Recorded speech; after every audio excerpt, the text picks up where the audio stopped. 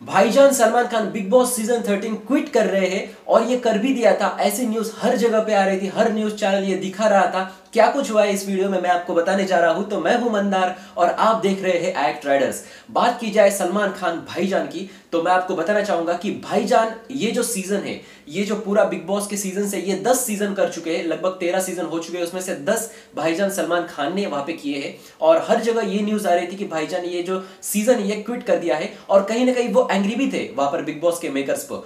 तो वहाँ पे जो भाईजान ने इस पर चुप्पी तोड़ी थी बीच में, और उन्होंने ये कहा था कि मेरी जो इस शो से नाल जुड़ी है तो ये मैं कहीं ना कहीं तोड़ना नहीं चाहता। मेरे अंदर का एक इंसान कहता है कि इसे तोड़ के फेंक दे बाहर, लेकिन दूसरा इंसान जो है, वो कहता है कि इसे चलने दे, अपने साथी से चलने दे। इसका मतलब ये मेरे लाइफ से अलग होने वाला चीज़ नहीं है, ये अब मेरे लाइफ के साथ ही आगे जाएगा। इससे मुझे प्रॉब्लम्स भी आती है, दिक्कतें भी आती है, लेकिन इससे मुझे बहुत कुछ सीखने मिलता है। जैसे कि उन्होंने कहा कि कंटेस्टेंट घर में जाते हैं तो उनसे बहुत सारी चीज़ें सीखने मिलती है। अब घर में जो आपको कंटेस्टेंट दिखते हैं, वो वैसे होते नहीं है, अगर बाहर आप इनसे मिले तो आपको घर वाला कंटेस्टेंट और बाहर का कंटेस्टेंट अलग दिखेगा, अलग रूप इनका दिखेगा। अब घर में जो होता है, वो एक्टिंग नहीं करते। वो घर में जाकर, उस माहौल में रहकर, वो भी वैसे ही बन जाते हैं। तो इससे भी बड़ी हमें सीख मिलती है कि घर का जो एटमोस्फेयर है, कैसे रखना चाहिए। तो ये सारी चीज़ें वहाँ पर उन्होंने कही और इन्होंने कहा कि इस बिग बॉस के 10 सीज़न करने के बाद मुझे लाइफ में बहुत सारे लेसन मिले, बहुत कुछ सीखने मिला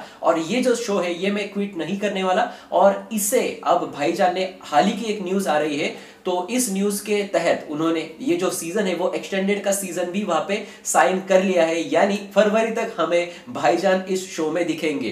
तो पहले जो था, वो 15 वीक तक ही करने वाले थे, क्योंकि उनके शूटिंग भी थी, राधे की शूटिंग थी। बहुत सारे बिज़ी शेड्यूल था उनका। लेकिन इन सारी चीज़ों से समय निकाल कर उन्होंने बिग बॉस को समय देने के लिए उन्हें वहाँ पे साइन कर दिया है और भाईजान अब दिखेंगे एंड तक, इस सीज़न के एंड तक। और कहीं ना कहीं मुझे ऐसा लगता है कि पर्दे के पीछे बिग बॉस के मेकर्स इनको मनाने के लिए कहीं ना कहीं बहुत अच्छे से इनको मना लिया है। और बहुत सारी चीज़ें अब होगी बिग बॉस के सीज़न थर्टीन में। और हो सकता है कि ये जो सीज़न है सीज़न तेरह, ये अब तक का सबसे हिट सीज़न हो जाए।